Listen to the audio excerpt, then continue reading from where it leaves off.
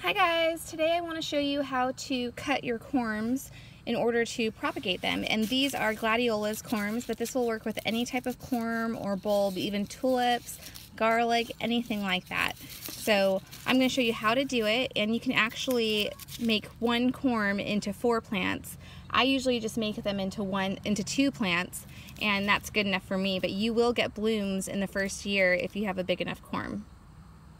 This is really easy to do. You're just going to need a sharp kitchen knife and we're basically going to be cutting these in half vertically and I like to turn them on their side because it's much easier to cut into without damaging the bud that's on the top of the corm. The basal plate is on the bottom of the corm and that's where all the roots come out of so you need to make sure that you're cutting that right in half and that you've got plenty of basal plate on both pieces.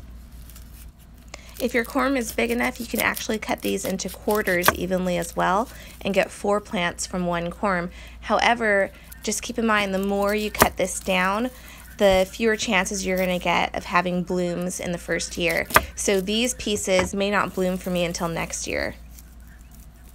Also, I want to note that you need to make sure you're cutting right in the middle on the top as well as the bottom because the top has the bud and the new forming corm for next year.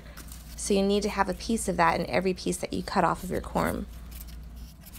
The yellow fleshy part of the corm that you're seeing is actually the plant that's going to form for this year. That's all the energy it's stored for the plant to bloom this year. In the middle, you'll see kind of a wider area. Sometimes you'll see a more fleshy white area at the top middle. That's going to be your corm for next year. If you're not seeing that wider fleshy area in the middle top, don't worry about it. It just means you've got a smaller corm and it hasn't started forming its second corm for the, for the next year. You also want to make sure that you're leaving the tunic on the corm. That's that papery husk that's on the outside of the corm. The tunic protects the corm from water loss and also from insects. So we want to keep as much of that on there as we can. Now, if you don't want to cut your corms in half and you don't feel confident in propagating this way, there's another way to stimulate the corms to get them to, to form more cormels. And the cormels are basically mini corms that form inside the bulb and become new plants, but they take two to three years to bloom. Now you can make your corm produce more of those by scoring the corm with your knife. So you'll make shallow cuts on the sides of the corm with your knife, and that will stimulate the corm and make it form more cormels.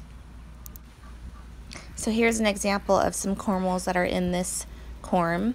You can see the one at the top here That's called a lateral bud and that will become its own corm as well. And the larger your corm is, the more lateral buds and cormels you'll get. So it's really important to plant your gladiolas in full sun where they can get sun all day long because they'll use that energy to create more cormels and more lateral buds. And that's how the plant self-propagates and that's how you get lots of gladiolas for free. Before we plant these, we want to treat them with the fungicide, and I'm using milk. This is 50% milk, 50% water, so one part milk, one part water. And milk is known to work better than commercial fungicides. So we're going to soak these for about 15 minutes.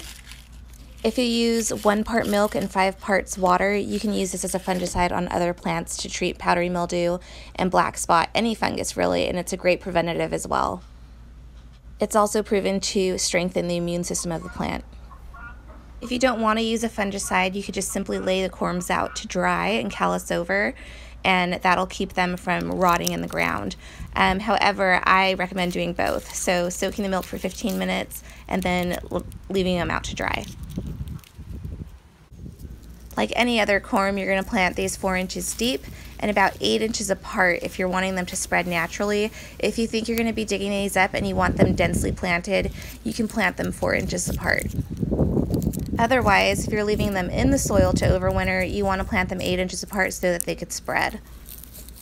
You also want to make sure that you're planting these pointy side up. That goes for all the corms that you've cut. So make sure your basal plate is face down and your uh, pointed bud is pointing up to the sky. So we have uh, drifts of gladiolas everywhere on our property. This is just one that I planted last year that came back and it bloomed beautifully for me last year. Uh, don't mind the ugly wall behind it. This is going to end up being um, stalls for, I don't know, goats or alpacas or whatever Garrett's planning on getting. Um, so that's going to come down soon. So I know it's kind of ugly. But I decided I wanted to show you guys where uh, we have gladiolas planted. So we're going to take a walk around the property and I'm going to show you all the spaces where I'm growing gladiolas. So here is the drift that we just planted um, not that long ago. I did a video on it. It was like 140 gladiola corms that we planted.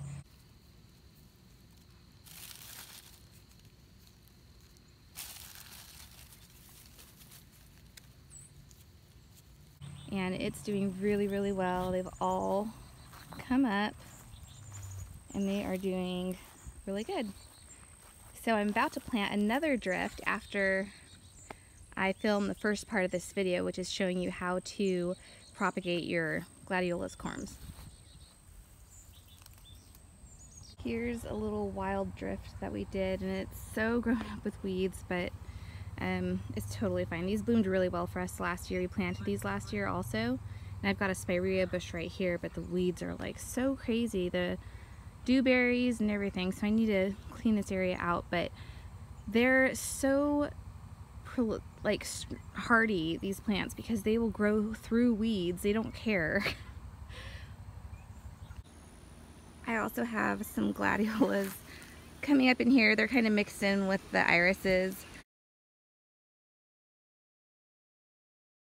right now and it's covered in weeds again um, but once we start cutting the grass back and do a little bit of weed control out here it'll look so much better I also have some over here and I actually dug all of, I used to have a drift right here and I dug them all up and planted them somewhere else and these are what came up from cormlets, or cormels, sorry. Um, so you see they're really tall because they're growing through my uh, dewberry bushes here and honeysuckle, but they do just fine. They find the sun without any issues. Out here in the market garden, I also have a bunch of gladiolas planted, and these never get watered. They just do so well. They're so hardy. And I've got them at the end of each aisle out here. I don't know if you can see them all, but they go all the way down. And they get full sun all day long. And you'll notice that these, um, I only planted, I think about four on each end. And there's way more than four now because they're getting full sun all day long, so they're self-propagating like crazy because they have so much energy to store.